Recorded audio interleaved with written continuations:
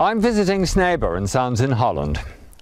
They've just celebrated 100 years in business and they've been given the royal warrant by the Dutch royal family. The business is a very clever amalgam between traditional blacksmithing and modern engineering. And the tools they produce have got this wonderful heft that only comes from a hand-finished product. And it really is extraordinary, the difference between one of these spades and the sort of spade that one gets mass-produced anywhere. The excitement for me is that together with Jaap, I've been able to develop my own range of tools. And these really have been born from the practical dimensions rather than necessarily from the artistic dimensions. I first met Jaap some time ago when we were discussing the rose fork. And a conventional rose fork has got two prongs it's a heavy thing and it was designed about 100 years ago to work between the bedding roses.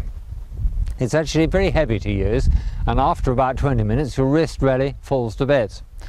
So I thought well perhaps if we produced something with three prongs and used the central prong a little bit taller to act as a lever then that might be an easier tool to use.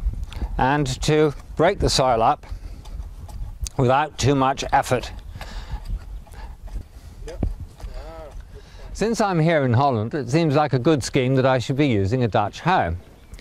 Dutch hoes work very simply by pushing and pulling the weeds and by walking backwards so that you don't tread them back in again.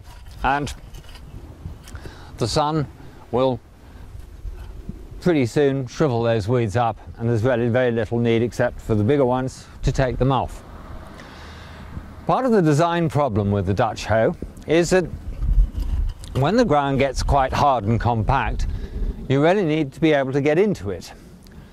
And for that reason, I decided that it would be more exciting to have these points on the end of the hoe and that then enables you to get in far easier than it would do if it was just a flat blade.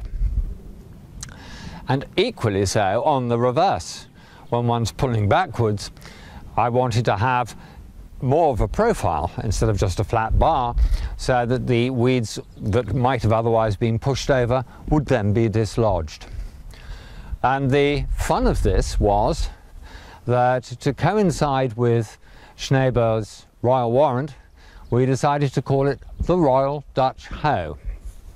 And additionally, we incorporated the traditional wooden handle on the end so instead of a nasty knob which would leave blister in your hand one had a tool that would work very well and uh, Jaap Sneeboer took it to Chelsea Flower Show and I'm pleased to say that it managed to get the product runner-up award.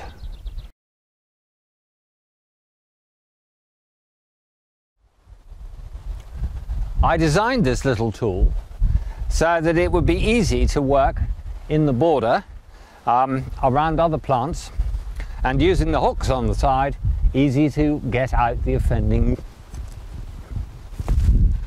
And there we are. Out it comes nice and easy. I've got to dig this rose up. It's in the wrong place. And every time you use a spade like this especially when there are roots around the place it's in the style of very hard work. So I came up with a spade for this sort of use and indeed for digging in the vegetable garden or wherever which makes your life easy.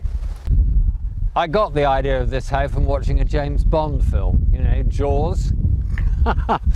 and the idea here really, like the Royal Dutch hoe, is it goes in the ground very easily, cuts through roots and makes your life generally a little less difficult. By cutting away these profiles here, it also makes the spade lighter to use in the soil. It's no way a hybrid between a fork and a spade, it is a spade. And as you can see, it really allows you to get underneath the roots and so it really does enable you to bring the rose out of the ground without too much trouble. Doesn't necessarily make digging easy, it makes digging a little bit easier.